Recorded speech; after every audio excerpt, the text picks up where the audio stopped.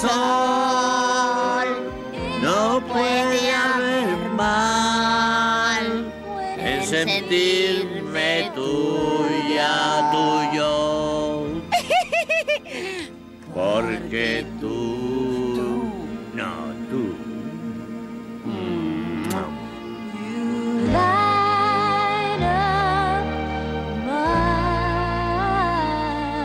Nuestra canción eh, seguro que se puso muy contento el tipo al que se la cantaban. La verdad es que esta canción va dirigida a Dios. Ah, bueno, él siempre está contento. No, siempre está enfadado.